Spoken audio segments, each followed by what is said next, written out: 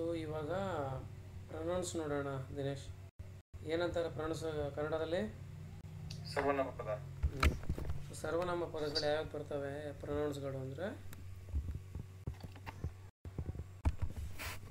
ಈ she it they I you ಆ ಥರ. ಓಕೆ. ಇವಾಗ ಐದು ನನ್ನ ಅರ್ಥ ನೋಡಿ ಹೇಳೋಣ. ಅರ್ಥ ಒಂದು simple sentence okay? Okay. So I me ಎರಡಕ್ಕೂ ಅರ್ಥ ಏನಿರುತ್ತೆ? ನಾನು ಅಂತಾನೆ ಎರಡು ಅರ್ಥನೂ. ಐ ಅಂದರೆ ನಾನು ನೀ ಅಂದ್ರು ನಾನೇನೆ. So I. L I L ಬರುತ್ತೆ ಅಂದರೆ ನಾನು ಕೆಲಸ ಮಾಡ್ತಿದ್ದೀನಿ. ಹಾಂ? ಓಕೆ ನಾನು ಓದ್ತಾ ಇದ್ದೀನಿ. ಓಕೆ ನಾನು ಮಾರ್ಕೆಟಿಗೆ ಹೋಗ್ತೀನಿ. I am studying English. I will go to the market. So ಇವಾಗ ಎಲ್ಲಿ. ಏನೋ ಕೆಲಸ ಮಾಡ್ತಿರೋ ನೀನು. Use when the speaker is performing the action ಹೇಳ್ತಾ ಇರೋನು ಒಂದು ಕೆಲಸ ಮಾಡ್ತಾ ಇದ್ರೆ ಅವಾಗ ಆಗಿ ಯೂಸ್ ಬರುತ್ತೆ. Okay object pronoun use when the speaker is receiving so me ಎಲ್ಲಿ ಯೂಸ್ ಆಗುತ್ತೆ? ನೀನು ನೀನು ರಿಸೀವ್ ಮಾಡಬೇಕಾದ್ರೆ. ರಿಸೀವರ್ ಎಂಡಲ್ಲಿ ಇದ್ದಾಗ. She gave me the book she gave the book to me ಅವಳು ಪುಸ್ತಕವನ್ನು ನನಗೆ ಕೊಟ್ಲು. ಈ ಸೆಂಟ್ ಮಿ ಅ ಲೆಟರ್ ಅವನು ನನಗೆ ಪತ್ರ ಕಳುಹಿಸಿದನು. ಸೆಂಟ್ ಅಂತ ಓಕೆ ಸೊ ಐ ಅಂದ್ಬಿಟ್ರೆ ನೀನೇನಾದರೂ ಕೆಲಸ ಮಾಡ್ತಿದ್ದಾಗ ನಾನು ಕೆಲಸ ಮಾಡ್ತಿದ್ರೆ ನಾನು ಆ್ಯಕ್ಷನ್ ಮಾಡ್ತಾ ಇದ್ರೆ ಅವಾಗ ಐ ಬರುತ್ತೆ. I I am I will ಆ ಥರ. ಸೊ ನೀನು ರಿಸೀವಿಂಗ್ ಎಂಡಲ್ಲಿದ್ದವಾಗ ಮೀ ಬರ್ತದೆ ನಾನು ಅನ್ನೋ ವರ್ಡಿಗೆ ಓಕೆ ದಟ್ ವಾಸ್ ಮೀ ಅಂತಾರೆ ಗೊತ್ತಾ? ಅದು ನಾನಾಗಿತ್ತು. That work was done by me Dinesh ಅಂತ ಹೇಳಿದ್ರು ನಾನು ದಿನೇಶ್ ಅಂತ ಅಂತ ಬಳಸ್ತಿದ್ದೆ ಬಟ್ ಮೀ ಅಂತ ಬಳಸ್ಬೇಕಾದ್ರೆ ಏನಾದ್ರು ಕ್ಯಾಶುವಲ್ ಮಾತಾಡ್ಬೇಕಾದ್ರೆ ಮೀ ಯು ಅಂತ ಆ ಬರುತ್ತೆ ಅಲ್ಲ ಅಲ್ಲ ಅಲ್ಲ ಹಂಗಲ್ಲ ಮೀ ಯು ಅಲ್ಲ ನಾನು ಹೇಳ್ತಾ ಇರೋದು. ನಾವು ನೋಡ್ತಾ ಇರೋದು ಐ ಮತ್ತೆ ಮೀ ಎರಡೇ. ಓಕೆ ಈ ಸದ್ಯಕ್ಕೆ ಇವಾಗ. ಐ ಅಂದರೆ ಐ ಎಂ ಸ್ಟಡಿಯಿಂಗ್ ಅಂದ್ರೆ ಅರ್ಥ ಎಂಥದ್ದು ನಾನು ಓದ್ತಾ ಇದ್ದೀನಿ ಇಂಗ್ಲೀಷ್ ಅಂತ ಅಲ್ವಾ? ಹೌದು. She gave the book to me ಅಂದರೆ ಅವಳು ನನಗೆ ಕೊಟ್ಲು ಅಂತ. ಓಕೆ ಸೊ ನೀನು ಸ್ವೀಕರಿಸ್ತಾ ಇದೀಯ? ಮಾತಾಡೋ ನೀನು. ನೀನು ಮಾತಾಡ್ಬೇಕು ಯಾವಾಗ ನೀನು ರಿಸೀವಿಂಗ್ ಎಂಡಲ್ಲಿ ಇರ್ತೀಯೋ ಅವಾಗ ಮೀ ಯೂಸ್ ಮಾಡಬೇಕು. ಓಕೆ ಇವಾಗ I give the money to my mother I give I gave I gave the money to my mother ಇಲ್ಲ ಐ ಬಂತು. ಅರ್ಥ ಆಗ್ತಿದ್ಯಾ? My mother gave the money to me ಇಲ್ಲಿ ಮೀ ಬರುತ್ತೆ. ಐ ಗೇವು ನೀನು ಕೊಟ್ಟಿರೋವಾಗ ನೀನು ಫಸ್ಟ್ ಪರ್ಸನ್ ಆ ಥರ ಕೊಡ್ತಾ ಇರಬೇಕಾದ್ರೆ ನಿನ್ನ ಕೈಯಿಂದ ಆ್ಯಕ್ಷನ್ ಆಗಬೇಕಾದ್ರೆ ಐ ಅಂತ ಬರುತ್ತೆ.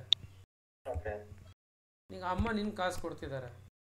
ಓಕೆ ಸೊ ಅವಾಗ ಏನಾಗುತ್ತೆ? My mother gave the money to me so ಇಲ್ಲಿ ಮೀ ಬರುತ್ತೆ. ನೀನು ಅವ್ರಿಗೆ ಕೊಟ್ಟವಾಗ ಐ ಬರುತ್ತೆ. I gave the money to my mother okay when your mother gave the money to you it becomes my mother gave the money to me. ಈ difference ಅರ್ಥ ಆಯ್ತಾ ಐಗೆ ಮೀಗೆ? ಅರ್ಥ ಆಯ್ತು ಬಟ್ ಕಾಣದೇ ಅರ್ಥನ ಅಲ್ಲ ಇದು ನಾನು ಅಮ್ಮ ಕೊಟ್ಟರು ಅಂತ ಐ ಗಿವ್ ದ ಮನಿ ಅಂತ ಅಂದ್ರೆ ನಾನು ನಮ್ಮಮ್ಮ ಮನೆ ಕೊಟ್ಟೆ. ನಾನು ಕೆಳಗಡೆ ಇದೆಯಲ್ಲ ಕೆಳಗಡೆ ಇರೋದ್ರ ತರನೇ ಇದು. ನಾನು ನಮ್ಮ ಅಮ್ಮನಿಗೆ ಅಮ್ಮ ಸಾರಿ ಹಣವನ್ನು ಕೊಟ್ಟಿದೆ ಅಥವಾ ನೀಡಿದೆ ನಾನು ಅಮ್ಮನಿಗೆ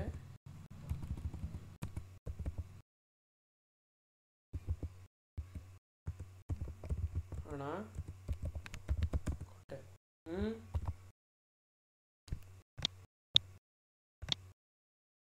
ಅರ್ಥ ಆಯ್ತಾ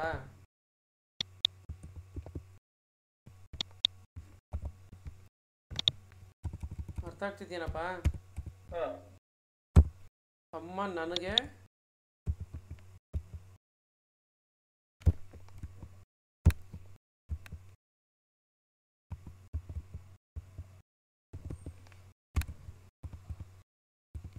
ಹಣ ಕೊಟ್ಟರು ಓಕೆ ಇದೇ ಡಿಫ್ರೆನ್ಸು ಅದಕ್ಕೆ ಐಗೆ ಮೀಗೆ ಹ್ಮ್. ಇದು ಐ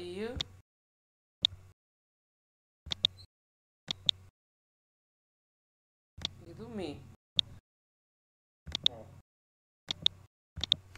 ಗೊತ್ತಾಗ್ತದಲ್ಲ ಎಲ್ಲಿ ಯೂಸ್ ಆಗುತ್ತೆ ಮೀ ಎಲ್ಲಿ ಯೂಸ್ ಆಗುತ್ತೆ ಅಂತ? ನೀನ್ ನೀನು ತಗೊಳ್ಳೋ ನೀನು ರಿಸೀವಿಂಗ್ ಎಂಡಲ್ಲಿದ್ದರೆ ಮೀ ನೀನು ಕೊಡೋನಾದರೆ ಐ ಓಕೆ ಡೌಟ್ ಇದ್ರೆ ಕೇಳು ನಾನು ತಿರ್ಗಾ ಹೇಳ್ತೀನಿ. ಅರ್ಥ ಆಯ್ತಲ್ವಾ? ಅರ್ಥ ಆಯ್ತು ಬಟ್ ಇದಕ್ಕೆ ಇನ್ನೂ ಸ್ವಲ್ಪ ಎಕ್ಸಾಂಪಲ್ ಸಿಗುತ್ತಾ?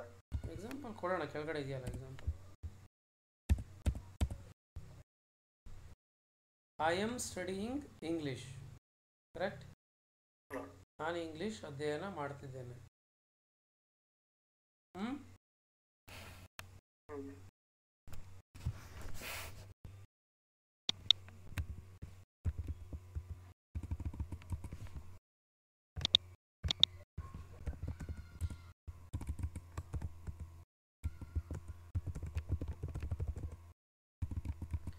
he is teaching English to me. Deepak is teaching English to me. I ಬಂತು ಇವಾಗ ಇಲ್ಲಿ ಮೀ ಬಂತು ಸೊ ಇದೆ ಡಿಫ್ರೆನ್ಸು ಓಕೆ. ನನ್ಗೆ ಕ್ರಿಯೆ ಏನೇ ನಡಿಬೇಕಾದ್ರೂ ನನ್ನಿಂದ ನಡೆದ್ರೆ ಐ ಅಂತ ಬರ್ತದೆ. ಬೇರೆಯವರಿಂದ ನಾನು ಪಡ್ಕೊತಾ ಇದ್ರೆ ಮೀ ಅಂತ ಲಾಸ್ಟ್ ಬರುತ್ತೆ. ಕರೆಕ್ಟ್ ಅಷ್ಟೇ. ಬಟ್ ಇಷ್ಟು ಸಾಕು. ಆಮೇಲೆ ಬೇಕಾದ್ರೆ ಇಂಗ್ಲಿಷ್ ನಾನು ಕಲಿತಾ ಕಲಿತಾ ಗೊತ್ತಾಗುತ್ತೆ ಹಿಂಗೆ ಹೌದು ಯಾಕೆಂದ್ರೆ ನಾನು ಎಕ್ಸಾಂಪಲ್ ಹೇಳ್ತಾ ಕೂತ್ಕೊಂಡ್ರೆ ಮುಂದೆ ಹೋಗಕ್ಕಾಗಲ್ಲ.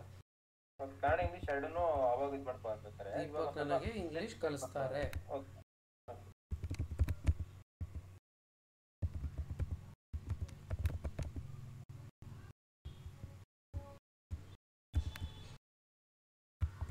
ಸರಿನಾ?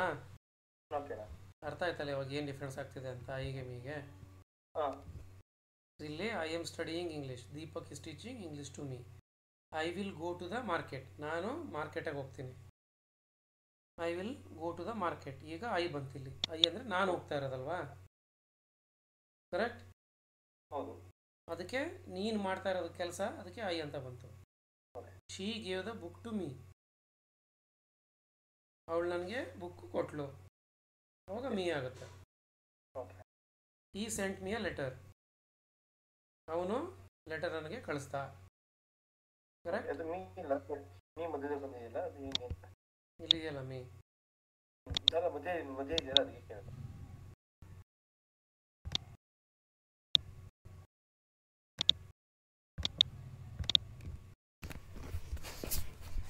ಸೊ ಐ ಮೀ ಅಂದರೆ ನಾನು ಅಂತಾನೆ ಬಟ್ ನೀನು ರಿಸೀವಿಂಗ್ ಎಂಡಲ್ಲಿದ್ದಾಗ ಮೀ ಬರ್ತದೆ. ನೀನು ಮಾಡ್ತಾ ಇರಬೇಕಾದ್ರೆ ಕೆಲಸ ಆಗುತ್ತೆ. ಇವಾಗ ಕೇಳ್ತಾರೆ. ಇನ್ನೊಂದು ಎಕ್ಸಾಂಪಲ್ ಹೇಳ್ತೀನಿ. ಒಂದು ಕ್ವಶನ್ ಇದು ಅನ್ಕೋ.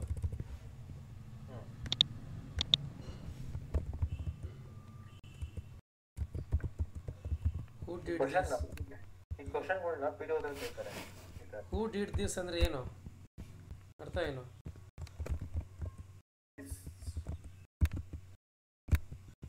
ಹೂ ಡಿಡ್ ದಿಸ್ ಅಂದ್ರೆ ಏನು? ಹೂ ಅಂದ್ರೆ ಏನು? ನೀನು ಸರಿ ಸರಿ. ಹೂ ಏನು? ವಾಟ್ ಅಂದ್ರೆ ಏನು? ಅಯ್ಯೋ ಬೇಡ ಬೇಡ ನೀನು ಏನು ಮಾಡೋದು? Who are you okay who are you okay ಯಾರು? ಯಾರಿದು?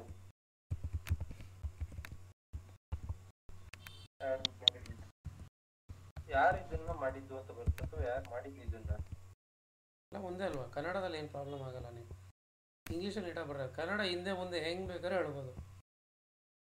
ಕರೆಕ್ಟಾ ಕನ್ನಡದಲ್ಲಿ ಆ ಥರ ರೆಸ್ಟ್ರಿಕ್ಷನ್ಗಳಿಲ್ಲ ಹಿಂಗೆ ಹೇಳಬೇಕು.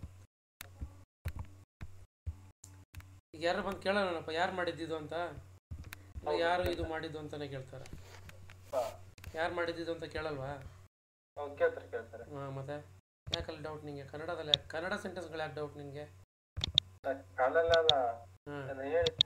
ಯಾರು ಮಾಡಿದ್ದು ಇದನ್ನ ಅಂತ ಕೇಳ್ತಾರೆ ಯಾರು ಮಾಡಿದ್ದು ಅಂತ ಅಂತಾರಲ್ಲ ಅದಕ್ಕೆ ಯಾರು ಮಾಡಿದ್ದು ಅಂತ ಕೇಳಲ್ವಾ ಮಾತಾಡ್ಬೇಕಾದ್ರೆ? ಯಾರು ಮಾಡಿದ್ದು ಇದನ್ನ ಅಂತ ನಮ್ಗ ಇದನ್ನ ಅಂತ ಕೇಳ್ತಾರೆ. ಯಾರು ಮಾಡಿದ್ದು ಅಂದ್ರೆ ಅದೇನು ತಪ್ಪಿಲ್ಲ ಇದನ್ನ ಅಂದ್ರೆ ತಪ್ಪಿಲ್ಲ. ಅದ್ರ ಮೇಲೆ ತಲೆ ಕೆಡಿಸ್ಕೋಬೇಡ. ಏನು ಆನ್ಸರ್ ಮಾಡ್ತೀಯಾ? ಅದು ನಾನು ಅಲ್ವಾ? ಹೇಳಲ್ವಾ ನೀನು? ಅದು ನಾನು ಅಂತ ಹೇಳಲ್ವಾ? ಯಾರು ಮಾಡಿ ಕೇಳಿದಾಗ ಅದು ನಾನು ಅಂತೀಯಲ್ಲ? ಸೊ ಇಲ್ಲಿ ಇಲ್ಲಿ ಮೀ ಬಂತು. ಇಲ್ಲಿ ಮೀದಲ್ಲಿ ನನಗೆ ಅಂತ ಬಂದಿತ್ತು ಅರ್ಥ. ಬಟ್ ಇಲ್ಲಿ ಏನಾಯಿತು? ಅದು ನಾನು ಅಂತ. That was me so me ಅನ್ನೋದು ಯಾವಾಗ? ನೀನು ಇನ್ನೊಂದು ಎಂಡಲ್ಲಿದ್ದಾಗ ಅರ್ಥ ಆಯ್ತಲ್ಲ ಮತ್ತೆ? ಈ ಐ ಮೀದು ಡಿಫ್ರೆನ್ಸ್ ಗೊತ್ತಾಯ್ತಲ್ಲ? ಗೊತ್ತಾಯ್ತು ಓಕೆ ಸೊ ಮೈನ್ ಮೈನ್ ಅಂದ್ರೆ ಏನು ಅರ್ಥ? ನನ್ನದು. ನನ್ನದು. This book is mine this book ಅಂದ್ರೆ ಏನು?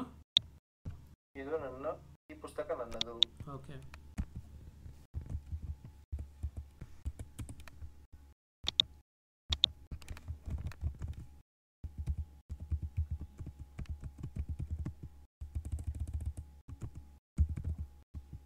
ಏನು ಅರ್ಥ ಇದ್ರದ್ದು ಆ ಮೊಬೈಲ್ ನಂದು. ನನ್ನದು ಆ ಮೊಬೈಲ್ ನನ್ನದು. ಎಕ್ಸ್ಪ್ರೆಷನ್ ಅಂದ್ರೆ ದಟ್ ಅಂದ್ರೆ ಅದು ಅಂತ ಬರ್ತದೆ ಬಟ್ ಆ ಮೊಬೈಲ್ ನನ್ನದು ಅಂತ. ಅದೇ ಒಂದು ಹೇಳ್ದಂಗೆ ಇಂಗ್ಲೀಷಲ್ಲಿ ಕರೆಕ್ಟ್ ಆಗಿರ್ಬೇಕು. ಕನ್ನಡದಲ್ಲಿ ಹೇಗೆ ಮಾಡ್ತಾರೋ ಕನ್ನಡದಲ್ಲಿ ಮಿಸ್ಟೇಕ್ ಆಗಲ್ಲ. ಅಂದ್ರೆ ಅರ್ಥ ಇದ್ದೇ ಇರ್ತದೆ ಅರ್ಥ ಹಾಳಾಗೋದಿಲ್ಲ.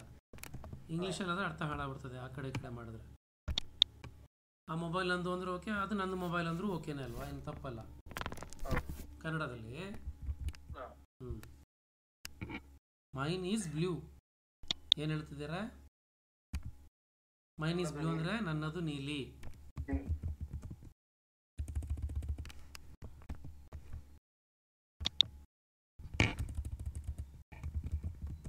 Mine is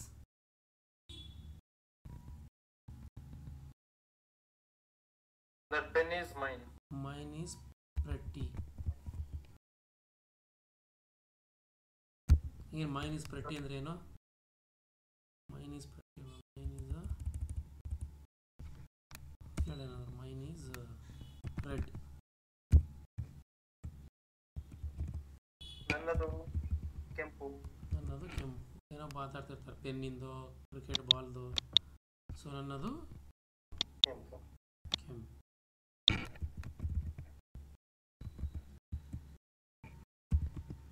that that bottle is mine bottle is mine okay ಅದನ್ನೆಲ್ಲ ರೂಢಿ ಮಾಡ್ಕೊ ನೀನು. So this book is mine ಅಂದ್ರೆ ಇದೆಲ್ಲ ಸಿಂಪಲ್ ಸೆಂಟೆನ್ಸ್ಗಳು ಈ ಬುಕ್ ನಂದು. ಮೈನ್ ಅಂದ್ರೆ ಅರ್ಥ ಏನು ಇವಾಗ ಇಲ್ಲಿ? ನನ್ನದು. ಮೈನ್ ಅಂದ್ರೆ ನನ್ನದು ಅಂತ. ಎಲ್ಲ ಯೂಸ್ ಮಾಡಿದ್ರೆ ನೀನು? ಮೈನ್ ದಟ್ಸ್ ಮೈನ್ ಅಂತ ಹೇಳಿದ್ರೆ ಅದು ನಂದು. Okay this book is mine ಅಂದ್ರೆ ಆ ಬುಕ್ ನಂದು. ದಟ್ ಮೊಬೈಲ್ ಈಸ್ ಮೈನ್ ಅಂದ್ರೆ ಆ ಮೊಬೈಲ್ ನಂದು. ಹಾ ಮೈನ್ ಈಸ್ ರೆಡ್ ಅಂದ್ರೆ ನಂದು ಕೆಂಪು ಕಲರು ಮೈನ್ ಈಸ್ ಬ್ಲೂ ಅಂದರೆ ನನ್ನದು ನೀಲಿ ಕಲರು ಓಕೆ ಸೊ ಮೈನ್ ಅಂದರೆ ನನ್ನದು ಅಂತ. ಓಕೆ ಮೈ ಅಂದರೆ ನನ್ನ. ಮೈ ಕಾರ್ ಈಸ್ ನ್ಯೂ ಏನಂಗಂದ್ರೆ? ನನ್ನ ಕಾರು ವಸ್ತು.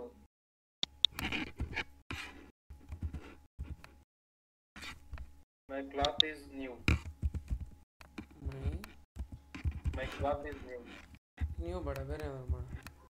ಮೈ ಕ್ಲಾತ್ ಈಸ್ ಸ್ವಲ್ಪ ಹೊಸ ಹೊಸ ಸೆಟಸ್ ಕಲಿಯೋಣ ಅಂತ ಅಷ್ಟೇ. ಓಕೆ ಯಾಕೆ ಕೆಳಗಡೆ ಬರೀತೀಯ? My clothes are dirty okay no problem my cloth is dirty ಅಂದ್ರೆ ಓಕೆ ಕ್ಲಾತ್ಸ್ ಅಂದರೆ ಜಾಸ್ತಿ ಬಟ್ಟೆಗಳು ಅಂತ. My pen is red red pen ನನ್ನ ಬ್ಲೂ ಪೆನ್ ಬಟ್ಟೆಗಳು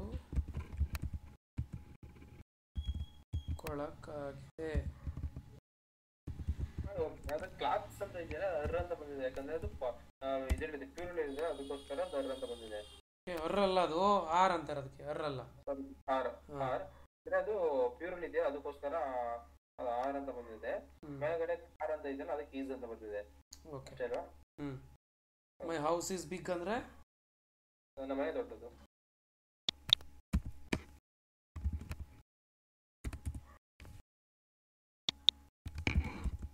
ಮೈ ಡ್ರೆಸ್ ಈಸ್ ಡ್ರೆಸ್ ಬೇಡ ಮೇಲೆ ಯೂಸ್ ಮಾಡಿದೀವಲ್ವಾ? ಮೈ ಹಾರ್ಟ್ ಈಸ್ ಬಿಗ್ ಏನು ಬರ್ತಿಲ್ಲ?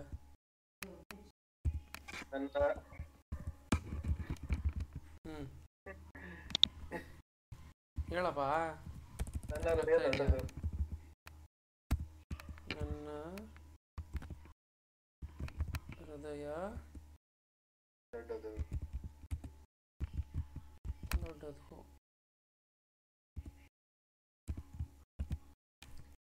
ಓಕೆ ಸೊ ಐದು ಮೀದು ನೋಡಾಯ್ತು. ಮೀ ಮೈನ್ ಅಂದ್ರೆ ನನ್ಗೆ ರಿಲೇಟೆಡ್ ನಂದು ಅಂತ ಹೇಳ್ತೀವಿ ನಾನು ಅಂತ ಹೇಳ್ತೀವಿ.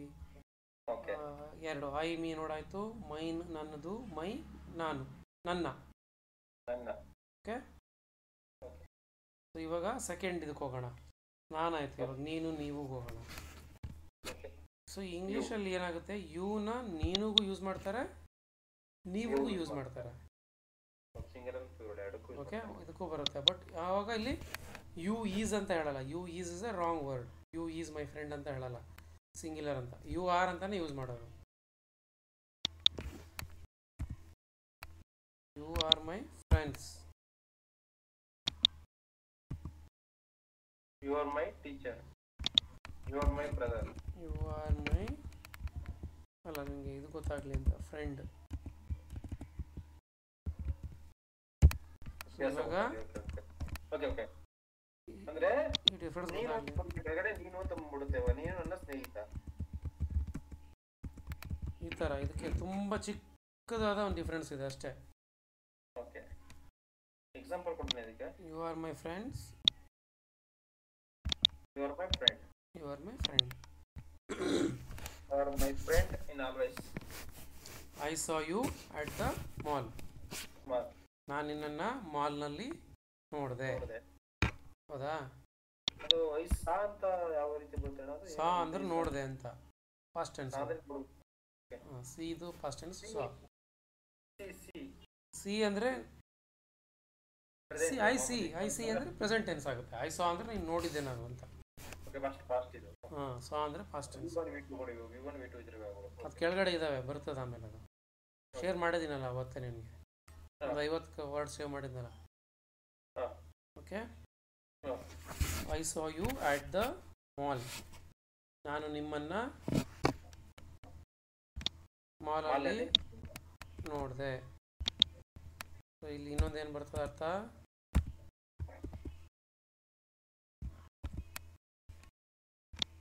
ನಾವು ಸಾರಿ ನಾನು ನಿನ್ನನ್ನ ಮಾಲ್ನಲ್ಲಿ ನೋಡಿದೆ. ನಿನ್ನನ್ನು ಮಾಲ್ನಲ್ಲಿ ನೋಡಿದೆ. ಕರೆಕ್ಟಾ ಎರಡಕ್ಕೂ ಒಂದೇ ಬರ್ತದೆ ಇದು. ಓಕೆ ಬಟ್ ಕಾಂಟೆಕ್ಸ್ಟ್ ಕಾಂಟೆಕ್ಸ್ಟ್ ಅಂದರೆ ಏನು? ಸಂದರ್ಭ. ಸಂದರ್ಭದ ಮೇಲೆ ಅರ್ಥ ಚೇಂಜ್ ಆಗ್ತದೆ. ಕಾಂಟೆಕ್ಸ್ಟ್ ಮೇಲೆ meaning gets changed correct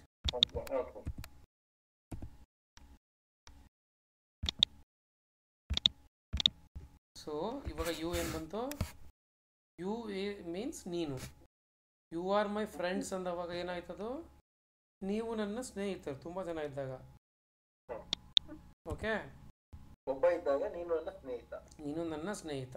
ಮತ್ತು ಇನ್ನೂ ಒಂದು ಸಿನರಿ ಏನು ಬರ್ತದೆ? ಒಂದು ಗುಂಪಲ್ಲಿ ಒಂದು ನಿಮಿಷ ನಾನು ಹೇಳೋದು ಒಂದು ನಿಮಿಷ. ಇನ್ನೊಂದು ಸಿನರಿ ಏನು ಬರ್ತದೆ?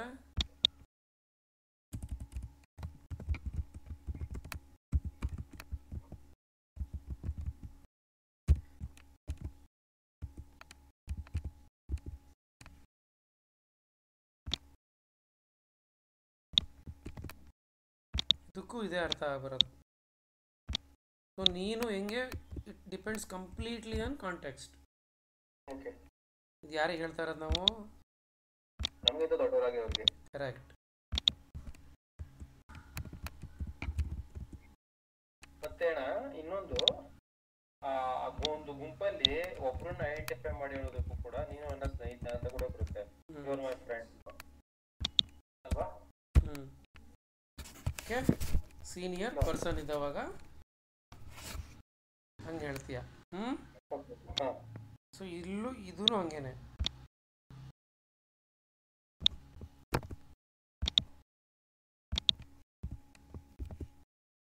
ನಾನು ನಿಮ್ಮನ್ನು ಮಾಲ್ನಲ್ಲಿ ನೋಡಿದೆ. ಯಾರಿಗೆ? ಸೀನಿಯರ್ ಪರ್ಸನಿಗೆ ಅದೇ ಯೂಸ್ ಮಾಡ್ತೀಯ? ಕರೆಕ್ಟ್ ಓಕೆ ಓಕೆ ಸೊ ಇದು ಹೆಂಗೆ ಚೇಂಜ್ ಆಗ್ತದೆ?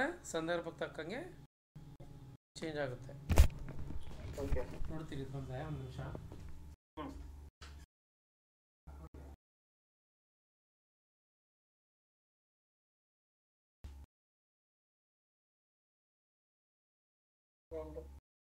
ಯುವರ್ ಮೈ ಫ್ರೆಂಡ್ ನೀನು ಸ್ನೇಹಿತರು ಯುವರ್ ಮೈ ಸ್ನೇಹಿತ. ಯು ಆರ್ ಮೈ ಫ್ರೆಂಡ್ ನೀವು ನನ್ನ ಸ್ನೇಹಿತ. ಪರ್ಸನ್ ಬಂದಾಗ ಯು ಯು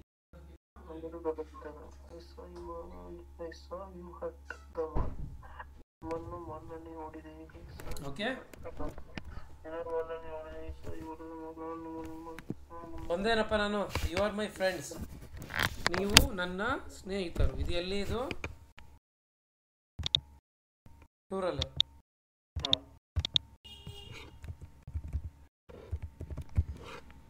ಹೌದಾ? ಫ್ಲೂರಲ್ಲು. ತುಂಬ ಜನ ಇದ್ದಾವಾಗ ಅಂತ. ಇದು ಫ್ಲೂರಲ್ ಇದ್ದಾಗ ಇದು ಫ್ಲೂರಲ್ ಇದ್ದಾಗ ಜಾಸ್ತಿ ಜನಗಳಿದ್ದಾಗ ಇದು ಒಬ್ಬನೇ ಇದ್ದವಾಗ single person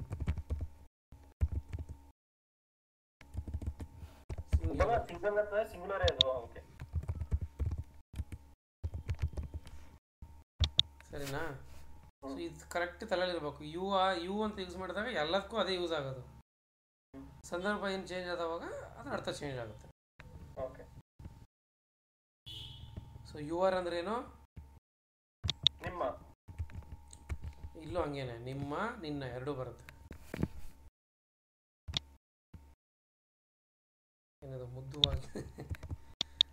chat G P T ಮುದ್ದುವಾಗಿದೆ ಅಂತ ಬರೆದ್ಬಿಟ್ಟಿದೆ.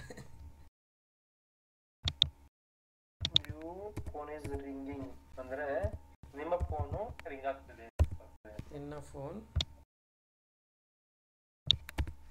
ಶಬ್ದ ಮಾಡುತ್ತಿದೆ ಅಥವಾ ರಿಂಗ್ ರಿಂಗ್ ಅಂದ್ರೆ ಬರೆಯೋಣ ಇದನ್ನೆಲ್ಲ ಯಾರಿಗೆ ಶಬ್ದ ಮಾಡ್ತದೆ ಅಂತ ಹೇಳ್ತಾರೆ?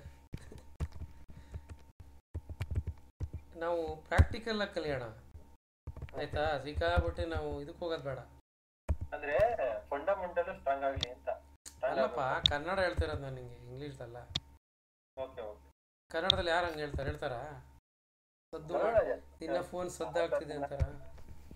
ಅಲ್ಲ ನಿಂಗೆ ಅರ್ಥ ಆದ್ರೆ ಸಾಕಿದೆ ಅರ್ಥ ಆಗ್ತದ ನಿಂಗೇನು ಸದ್ದ ಅಂತಾನೆ ಬರೀಬೇಕಾ? ಇಲ್ಲ ಇಲ್ಲ ಇಲ್ಲ ರಿಂಗ್ ಅಂತಾನೆ ಓಕೆ. ಹಾ ಸಾಕು. ಇವಾಗ ಅರ್ಧಕ್ಕರ್ಧ ಎಲ್ಲ ಎಲ್ಲರೂ ಅರ್ಧಕ್ಕರ್ಧ ಇಂಗ್ಲಿಷ್ ಮಾತಾಡೋದು.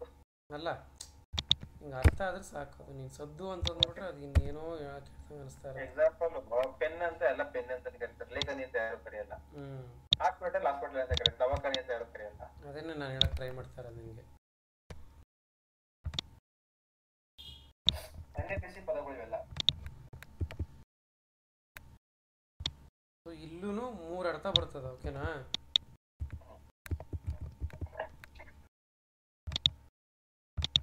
ನಿಮ್ಮ ಫೋನ್ ರಿಂಗ್ ಆಗ್ತಿದೆ ನಿನ್ನ ಫೋನ್ ರಿಂಗ್ ಆಗ್ತಿದೆ ಇಲ್ಲಿ ಮತ್ತೆ? ನಿನ್ನ ನಿಮ್ಮ ಫೋನ್ ಆಯ್ತದ? ನಿಮ್ಮ ಫೋನ್ ರಿಂಗ್ ಆಗ್ತಿದೆ. ನಿಮ್ಮ ಫೋನ್ ನಿಮ್ಮ ನಿಮ್ಮ ಈ ಪುಸ್ತಕ ನಿಮ್ಮದ ಈ ಪುಸ್ತಕ ನಿನ್ನದ. ಈ ಪುಸ್ತಕ ನಿಮ್ಮದ. ಸೊ ಇಲ್ಲಿ ಸೇಮ್ ಸಿನಾರಿಯೋ ಇದು ಫ್ಲೂರಲ್ ಪರವಾಗಿಲ್ಲ ಪರವಾಗಿಲ್ಲ ಗೊತ್ತಾಗುತ್ತೆ ಗೊತ್ತಾಗುತ್ತೆ ಬಿಡಿ. ಪರವಾಗಿಲ್ಲ. ಒಂದು ಒಂದು ಎರಡು ಮಾಡಿದ್ರೆ ಒಂದು ಗೊತ್ತಾಗ್ಬಿಟ್ರೆ ಗೊತ್ತಾಗ ಗೊತ್ತಾಗುತ್ತೆ. ಇದು ಫ್ಲೂರಲ್ಲು? ಮತ್ತೆ senior. Singular? Senior singular senior person.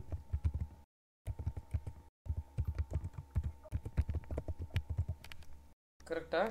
So ಕೆಳಗಡೆನೂ ಅದೇ ಸೀನ್. ಈಸ್ ದಿಸ್ ಯುವರ್ ಹ್ಞೂ ಈಸ್ ದಿಸ್ ಯುವರ್ ಬುಕ್ ಅಂತ ಕೇಳಿದ್ರೆ ಏನಂತ? ಇದು ನಿಮ್ಮ ಬುಕ್ಕ. ಇದು ನಿನ್ನ ಬುಕ್ಕ. ಇದು ನಿಮ್ಮ ಬುಕ್ಕ. ಅಂತ ದೊಡ್ಡವರಿಗೂ ಕೇಳೋದು ಆ ಥರ. ಕರೆಕ್ಟ್ ಇದು?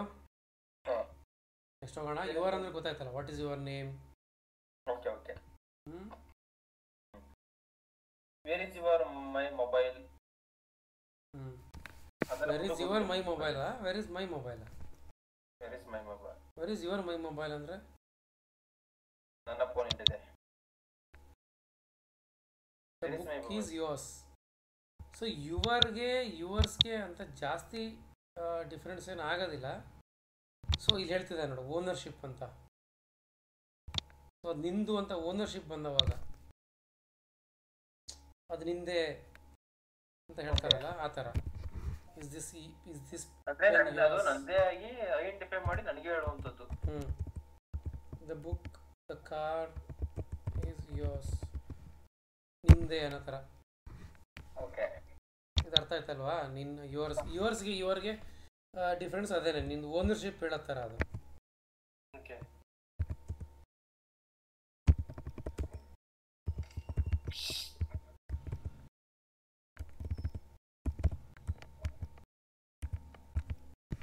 ಈ ಕಾರ್ ನಿಮ್ಮದು ಯುವರ್ ಅಂತ ಅಂದವಾಗ ಈ ಥರ ಬಂತು ಸಿನಾರಿಯೋ ಇಲ್ಲಿ ಯುವರ್ಸ್ ಅಂದಾಗ ಸೊ ಯುವರ್ಸ್ ಅಂದಾಗ ಇಲ್ಲಿ ಇದೊಂದು ಬರ್ತದೆ, ಈ ಥರ ಬರಲ್ಲ ಇಲ್ಲಿ. ಸಿಂಗ್ಯುಲರು ಫ್ಲೂರಲ್ಲು ಸೀನಿಯರು ಅದೆಲ್ಲ ಏನು ಬರಲ್ಲ.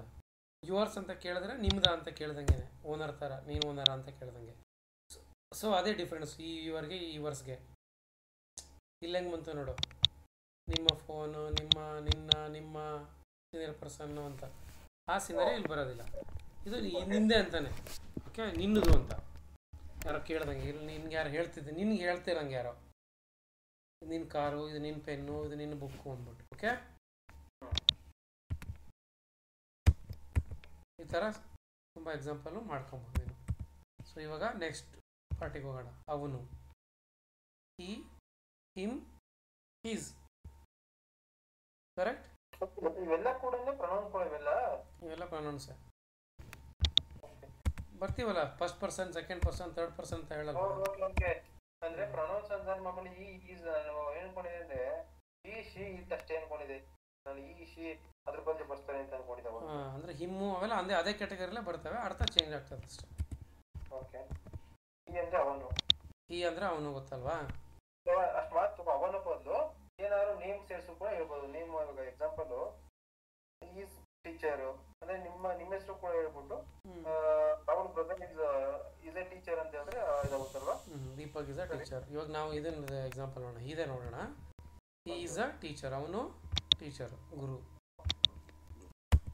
ಹಿ ಪಕ್ಕದಲ್ಲಿ ಏನ್ ಅವ್ರ ಹೆಸರು ಕೂಡ ಐಡೆಂಟಿಫೈ ಮಾಡಿ ಹೇಳೋ ತರ ಇದು ಮಾಡೋಣ. ಟು ದ ಆಫೀಸ್ ಅಲ್ಲ ಈಗ ಈ ಸದ್ಯಕ್ಕೆ ಇದ್ರದ್ದು ಮಾತ್ರ ನೋಡ್ಕೊಂಡು ನಾವು ಹೀ ಹೀಟ್ ಮಾಡ್ತೀರಾ? ನಿಂಗೆ ಏನು ಡಿಫ್ರೆನ್ಸ್ ಇಲ್ಲೇ? ದೀಪಕ್ ಇಸ್ ಅ ಟೀಚರ್ ಅಂತ ಬರಿಬೋದು. ಇದು ಬೇಕಾ? ಹ್ಞೂ ಸರಿ ಬಿಡು.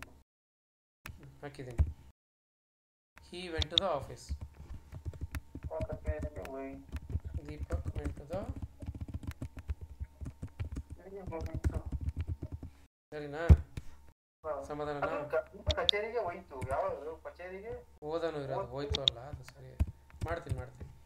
ಮಿಸ್ಟೇಕ್ ಆದಾಗ ಸರಿ ಮಾಡೋಣ ಅದು ಟ್ರಾನ್ಸ್ಲೇಷನ್ ನಾನು ನಾನು ಕುತ್ಕೊಂಡು ಮಾಡ್ತಿಲ್ಲ ಅದನ್ನ ಚಾಟ್ ಜಿ ಪಿ ಟಿ ಎಲ್ಲ ಯೂಸ್ ಮಾಡ್ಕೊಂಡು ಮಾಡ್ತಿದ್ದೀನಿ ಸ್ವಲ್ಪ ಮಿಸ್ಟೇಕ್ ಆಗ್ತದೆ ಪರವಾಗಿಲ್ಲ ಪರವಾಗಿಲ್ಲ. ಹ್ಞೂ ಮಿಸ್ಟೇಕ್ಸ್ ಇದ್ದರೆ ನಾವು ಲೈಕ್ ಅಲ್ಲೇ ಮಾಡಬೇಡ ರೆಕ್ಟಿಫೈ ಮಾಡಬೇಡ ಅದೇನು ತೊಂದರೆ ಇಲ್ಲ. Okay Deepak went to the office Deepak ಆಫೀಸ್ಗೆ ಹೋದ. ಓಕೆ ಸೊ ಹೀದು ಯೂಸೇಜ್ ಗೊತ್ತಾಯ್ತಲ್ವಾ? ಇದು ಒಳ್ಳೆ ಬರತ್ತಲ್ಲ ನಾವು ಕೊಡ್ತೀವಿ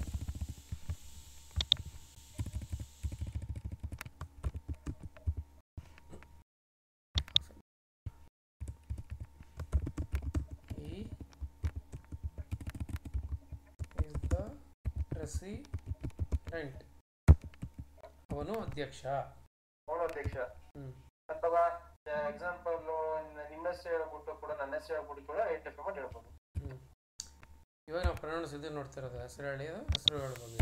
ಓಕೆ ಹೆಸರುಗಳು ಬಂದಾಗ ನೋವಾಗುತ್ತೆ ಆಗುತ್ತೆ. ಅವರು ಈ ಥರ ಹೇಳಿದಾಗ ಪ್ರಮಾಣ ಆಗುತ್ತೆ.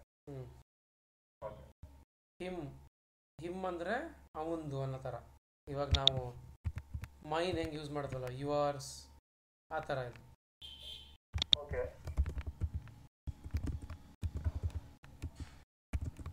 ಈ ಥರ ಒಂದೇ ಅರ್ಥ ಇದು. ಹಿಮ್ ಅಂದ್ರೆ ಅವಂದು ಮೈನ್ ಅಂದ್ರೆ ನಂದು ಹರ್ ಅಂದ್ರೆ ಅವಳದು. ಹಾಕ್ತೀನಿ ಹಾಕ್ತೀನಿ ಹಾಕ್ತೀನಿ. ಕೆಳಗಡೆ ಇದೆ ಅದರಲ್ಲಿ.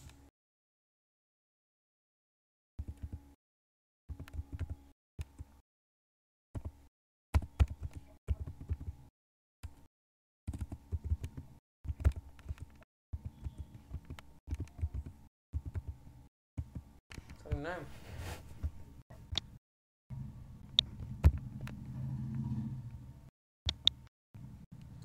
ಸೊ ಹಿಮ್ ಅಂದರೆ ಏನು ಬಂತು? ಅವನದು ಅಂತ. I saw him at the park so ಇದು ಹಂಗೇನೆ. ಸ್ವಲ್ಪ ಚೇಂಜ್ ಆಗ್ತದೆ. ಹೆಂಗೆ ಅಂದರೆ ಸೆಂಟೆನ್ಸ್ ಇದಕ್ಕೆ ತಕ್ಕಂಗೆ ಚೇಂಜ್ ಆಗ್ತದೆ. ಇವಾಗ I saw him at the park ಅಂದರೆ ನಾನು ಅವನದನ್ನು ಪಾರ್ಕಲ್ಲಿ ನೋಡಿದೆ ಅಂತ ಹೇಳೋಕ್ಕಾಗಲ್ಲ ಅಲ್ವಾ? ನಾನು ಅವನನ್ನು ಪಾರ್ಕಲ್ಲಿ ನೋಡಿದೆ. ನೀನು I saw he at the park ಅಂತ ಹೇಳಂಗಿಲ್ಲ. ಹಿಮ್ ಅಂತಾನೆ ಹೇಳಬೇಕು. ಅದೇ correct sentence I saw he at the park ಅಂದರೆ ರಾಂಗ್ ಆಗುತ್ತೆ ಅದು. ಐ ಸಾ ಹಿಮ್ ಅಂತಾನೆ ಹೇಳಬೇಕಾಗುತ್ತೆ. ಹ್ಞೂ ಹ್ಮ್? ಸೊ ಯಾಕೆ ಅಂದರೆ ಹಿಮ್ ಯಾಕೆ ಅಂದರೆ ಹಿ ಅಂದರೆ ಎಲ್ಲಿ ಬರ್ತದೆ? ಸ್ಟಾರ್ಟಿಂಗಲ್ಲೇ ಬಂದ್ಬಿಡ್ತದೆ. ಹಿ ಅನ್ನೋದು. ಸೊ ಫಾರ್ ಎಕ್ಸಾಂಪಲ್ ನಾನು ಹೇಳ್ತೀನಿ ನೋಡು.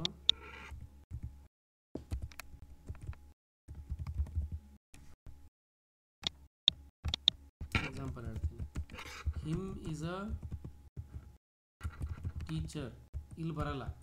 ಸೊ ಇಲ್ಲಿ ಅವ, ಅವನನ್ನು ಅಂತ, ಅವನು ಅಂತಾನೆ ಬರ್ತಿದೆ ಇಲ್ಲಿ. I saw him at the park ಅಂದ್ರೆ ಅವನನ್ನು ನೋಡಿದೆ ಅಂತಾನೆ. ಸೊ ಇಲ್ಲೂ ಅವನನ್ನು ಹಿ ಅಂದ್ರೂ ಅವನು ಅಂತಾನೆ ಬರುತ್ತೆ ಆ ಥರ him is a teacher wrong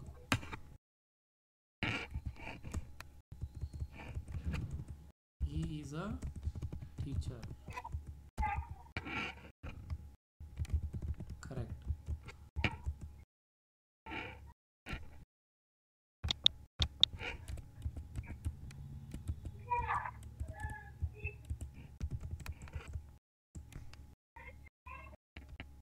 ಆಮೇಲೆ ಕೆಳಗಡೆ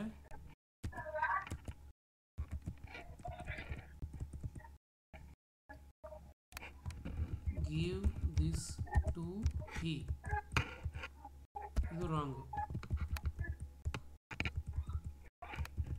give this to him correct ಅರ್ಥ ಆಯ್ತಾ?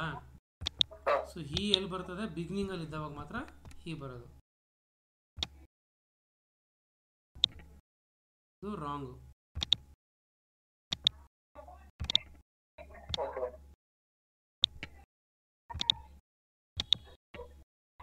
ಇದು ಕರೆಕ್ಟ್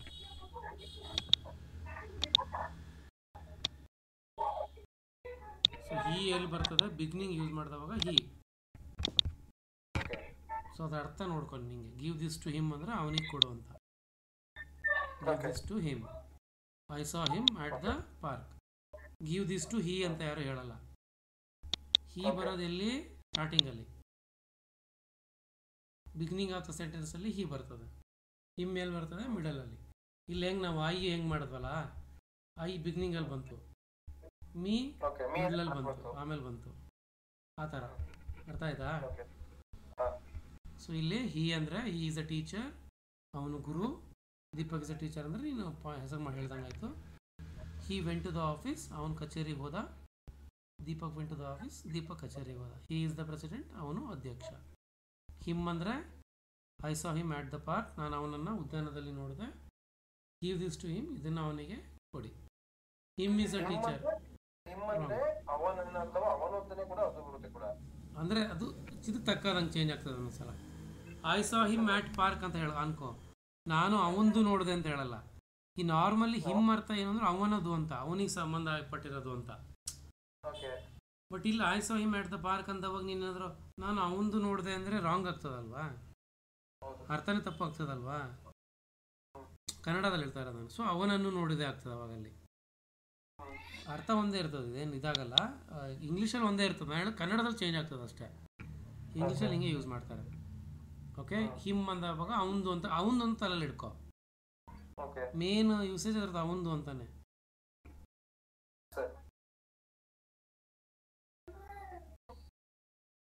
ಆಮ್ ಸಾರಿ ಇದು ಆಮ್ ಸಾರಿ ಹಿಮ್ ಬಂದ್ಬಿಟ್ಟು ಅವನಿಗೆ. ಆಮ್ ಸಾರಿ ಓಕೆನಾ ಅವನಿಗೆ ಅವನಿಗೆ. ಹೀಸ್ ಅಂದರೆ ಅವನ. ಸಾರಿ ಮಿಸ್ ಆಯ್ತು ನಾನು ಮಿಸ್ ಮಾಡಿದೆ. ಸೊ ಹಿಮ್ ಅಂದರೆ ಅವನಿಗೆ. Give it to him that belongs to him ಆ ಥರ.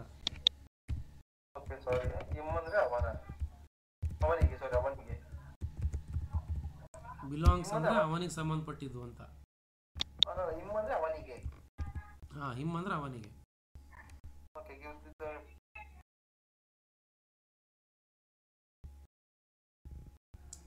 ಆ್ಯಕ್ಚುಲಿ ಸ್ವಲ್ಪ ಹೆಂಗಿದೆ ಇದು ಈಸ್ ಹರ್ ಅಂದ್ರೆ ಅವಳದು ಅಂತಾನೆ.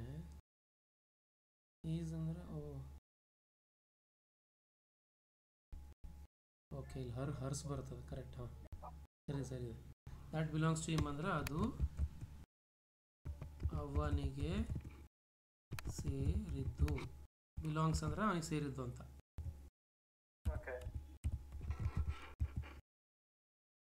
ದ್ಯಾಟ್ ಬಿಲಾಂಗ್ಸ್ ಟು ಹಿಮ್ ಅಂದರೆ ಅದು ಅವನಿಗೆ ಸೇರಿದ್ದು. ಗಿವ್ ದಿಸ್ ಸ್ಟ್ರೀಮ್ ಹಿಮ್ ಅಂದರೆ ಇದನ್ನು ಅವನಿಗೆ ಕೊಡಿ. I saw him at at the park ಅಂದ್ರೆ ನಾನು ಅವನನ್ನು ಪಾರ್ಕಲ್ಲಿ ನೋಡಿದೆ. ಸೊ ಹೀಸ್ ಅಂದವಾಗ ಅವಂದು ಅನ್ನೋ ಥರ. ಓಕೆ ಹಿಮ್ ಈಸು ಡಿಫ್ರೆನ್ಸ್ ನೋಡ್ಕೊ. ಹಿಮ್ ಅಂದರೆ ನೀನು ಅವನಿಗೆ ಕೊಟ್ಟೆ ಅಂದ್ಬಿಟ್ಟು ಈಸ್ ಅಂದರೆ? ಅದು ಅವಂದು ಅಂತ. ಹೇಳ್ತೀನಿ ಹೇಳ್ತೀನಿ. ಬರೀತೀನಿ ಬರೀತೀನಿ ಹಿಮ್ ಈಸ್ ಹಿಮ್ ಅವನಿಗೆ ಈಸ್ ಅವನ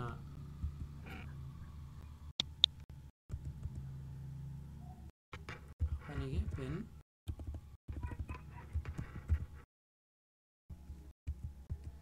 ಅದೇ ಕೂಡ ಈ ಅಂದ್ರೆ ಕೂಡ ಅವನ ಅವನ ಅವನು ಇದು ಅಂದ್ರೆ ಅವನ ಹಿಮ್ ಅಂದ್ರೆ ಅವನಿಗೆ Pen. ಹಿಮ್ ಅಂದ್ರೆ ಅವನಿಗೆ ಇಸ್ ಅಂದ್ರೆ ಅವನ ಈ ಅಂದ್ರೆ ಕೂಡ ಅವನು ಓಕೆ. ಹ್ಞೂ ಹಿಮ್ ಕನ್ಫ್ಯೂಷನ್ ಮಾಡ್ಕೊಳಕ್ ಹೋಗ್ಬೇಡ. ಅಲ್ಲಲ್ಲ ಹಿಮ್ ಅವನಿಗೆ. ಇಸ್ ಅಂದ್ರೆ ಅವನ ಈ ಅಂದ್ರೆ ಅವನ. ಈ ಅಂದ್ರೆ ಅವನು. ಓಕೆ. ಅವನು.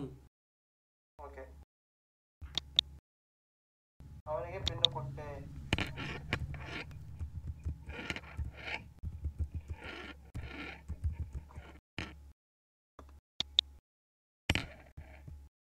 ಈಸ್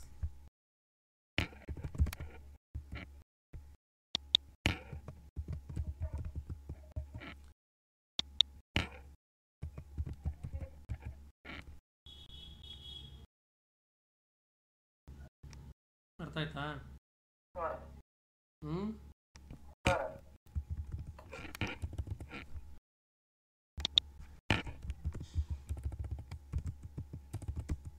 ಈಸ್ ಅ ಬಾಯ್.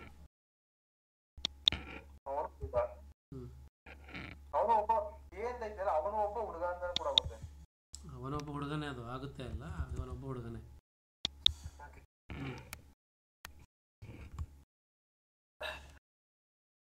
ನನಗೂ ಸ್ವಲ್ಪ ರೆಡಿ ಆಗೋಯ್ತು ಈಗ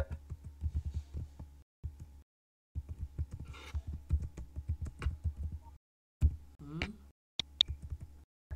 ಮತ್ತೆ ರೆಡಿ ಆಗೋಯ್ತು ಏನಾಯಿತು ರೆಡಿ ರೆಡಿ ಆಯ್ತು ಮತ್ತೆ ದಿಸ್ ಈಸ್ ಹೀಸ್ ಪೆನ್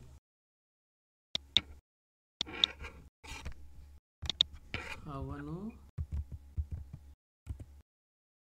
ಹುಡುಗ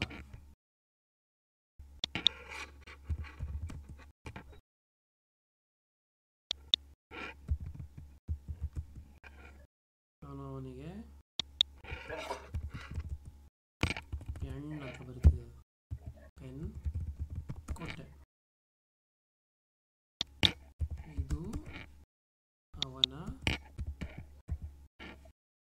ಪೆನ್ ಅರ್ಥ ಆಯ್ತಾ ಡಿಫ್ರೆನ್ಸ್ ಇವಾಗ ಓಕೆ ನೀಟಾಗಿ ಅರ್ಥ ಆಯ್ತಾ ಹ್ಮ್ ಹಿ ಅವನೊಬ್ಬ ಹುಡುಗ ಈಸ್ ಅ ಬಾಯ್ ಹಿಮ್ ನಾನು ಅವನಿಗೆ ಪೆನ್ ಕೊಟ್ಟೆ I give the pen to him okay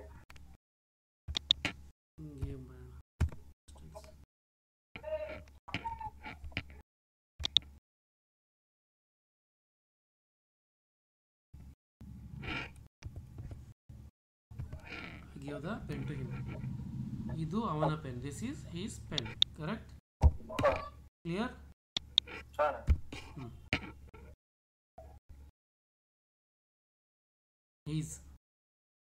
that is his car ಅಂತಲೇ ಹೇಳ್ಬೋದು ನೀವು. ಹೀಸ್ ಕಾರ್ ಇಸ್ ಫಾಸ್ಟ್ ಅವನ ಕಾರು ವೇಗವಾಗಿದೆ. His name is John that is his car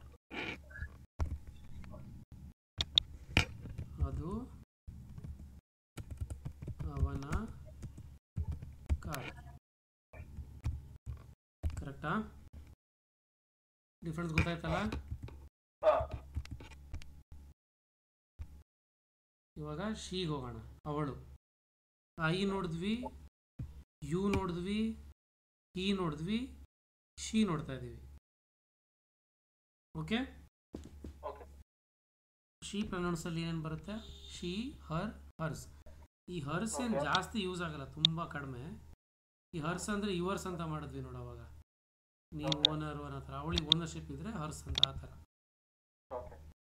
She she is a doctor ಅವಳು ಒಬ್ಬ ವೈದ್ಯೆ.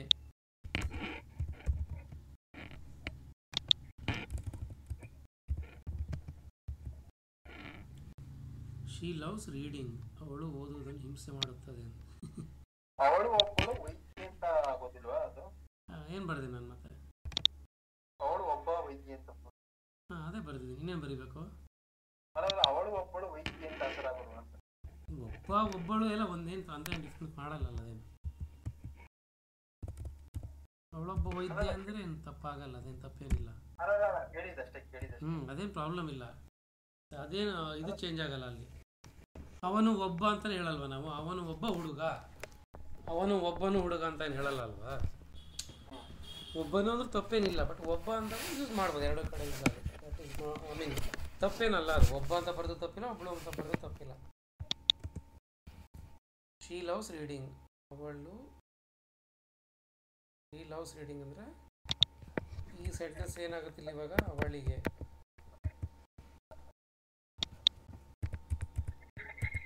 ಓದುವುದು ಇಷ್ಟ. ಆ ಥರ ಹೇಳ್ಬೋದಿಲ್ಲ ಅವಳು ತೊಂದರೆ ಇಲ್ಲ. ಅವಳು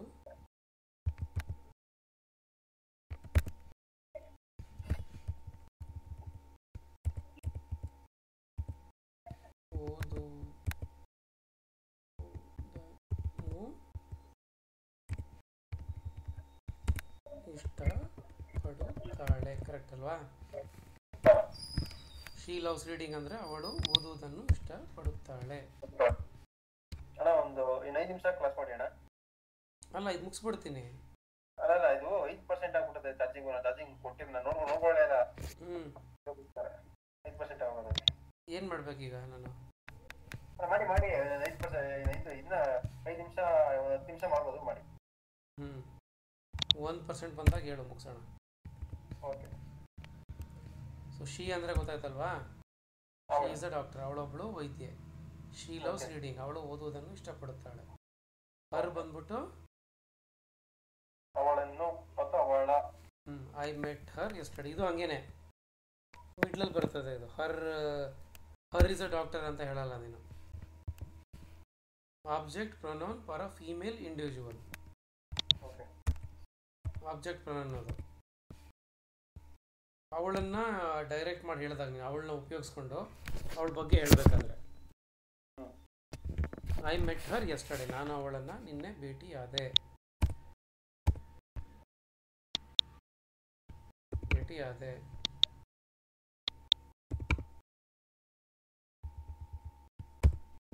ಐ ವಿಲ್ ಕಾಲರ್ ನಾನು ಅವಳಿಗೆ ಕರೆ ಮಾಡುತ್ತೇನೆ. ಓಕೆನಾ ಇದು ಸೆಂಟೆನ್ಸು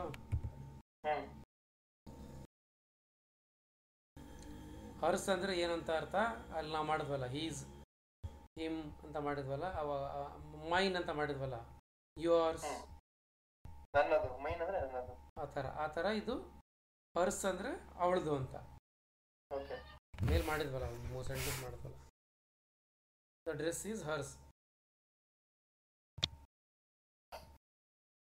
ಏನೇನೋ ಬರ್ದಿದೆಯಲ್ಲ ಇದು?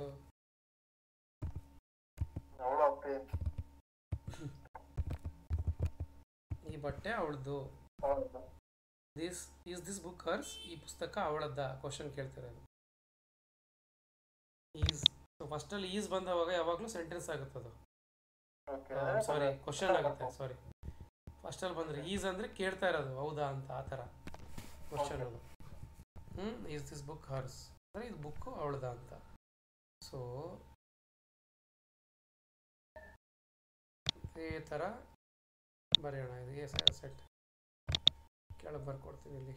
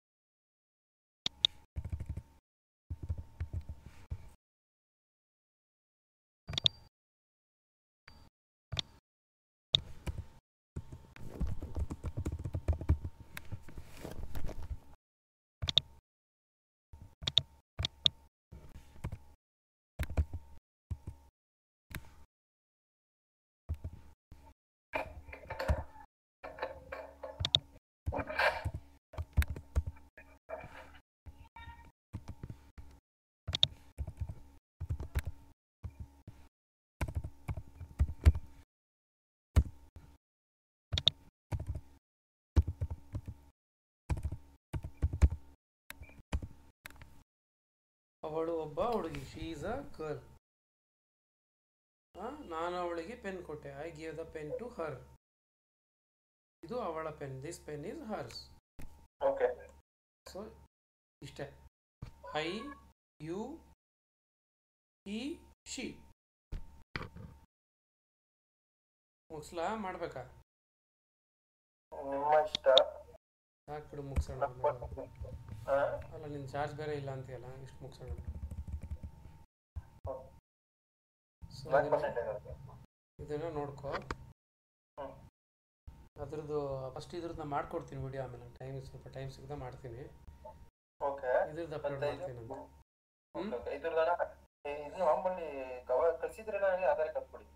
ಅದು ನಿನ್ಗೆ ಆಲ್ರೆಡಿ ಶೇರ್ ಇದೆ ಕಣೋ. ಆಲ್ರೆಡಿ ಶೇರ್ ಇದೆ. ನೀನೇನು ನೋಡೇ ಇಲ್ವಾ ಇಷ್ಟು ದಿನ? ನೋಡೆ ಗೊತ್ತಾಯ್ತು ನೋಡ್ದೆ ಬಟ್ ನೀವು ಸರಿ ಮಾಡಿರ್ತೀರಲ್ಲ ಪದಗಳು ಅದಕ್ಕೆ. ಏನಿಲ್ಲ ಶೇರ್ ಆಗಿದೆ ನಿಮಗೆ. ಶೇರ್ ಮಾಡ್ಬಿಡಿ ಇದು ಕೂಡ ಶೇರ್ ಮಾಡ್ಬಿಡಿ ಇಡೀ ಇಡೀ ಡಾಕ್ಯುಮೆಂಟ್ ಶೇರ್ ಆಗಿದೆ ನಿಮಗೆ ಎಲ್ ತೆಗೆದು ನೋಡು. ಹೌದಾ? ಓಕೆ ಹಾ ಅದರಲ್ಲಿ ನಾನು ಇದು ಮಾಡ್ತಿದ್ದೀನಿ ಇವಾಗ. ನೋಡ್ಕೊಂಡು ನೋಡ್ಕೊಂಡು ನಾನು ಹೇಳ್ತಾ ಇರೋದೇನು ಗೊತ್ತಾ ನೀವು ಮಾಡ್ತಾ ಅದು ನಿಮಗೆ ಸ್ನೇಹಿತ ಅಂದ್ರೆ ಚಾಚಿ ಪೆಟ್ಟಿ ತಪ್ಪು ಮಾಡಿರ್ತದಲ್ಲ ತಪ್ಪು ಮಾಡಿ ಸರಿ ಮಾಡಿರ್ತೀರಲ್ಲ ನೀವು? ಅದಕ್ಕೋಸ್ಕರ ಕೇಳಿದೆ ಅಷ್ಟೇ. ಅಲ್ಲ ಅದೇನು ಕೆಳಗಡೆ ಕೆಳಗಡೆ ಹೋದಂಗೆ ಮಿಸ್ಟೇಕ್ ಇದ್ರೆ ಸರಿ ಮಾಡ್ತೀನಿ. ನಾವು ಓದ್ತಿರೋದು ಯಾವಾಗ ಪ್ರಾಕ್ಟೀಸ್ ಮಾಡಿರ್ತೀವಲ್ಲ ಅದ್ರದ್ದೆಲ್ಲ ಸರಿ ಮಾಡಿರ್ತೀನಿ. ಕೆಳಗಡೆ ಮೋಸ್ಟ್ಲಿ ಇನ್ನೂ ಜಾಸ್ತಿ ಏನಾರು ಇದ್ರೆ ಮಿಸ್ಟೇಕ್ಸ್ ಇದ್ರೆ ಇರುತ್ತೆ. ಅದನ್ನು ಕಲಿಬೇಕಾದ್ರೆ ಸರಿ ಮಾಡೋಣ.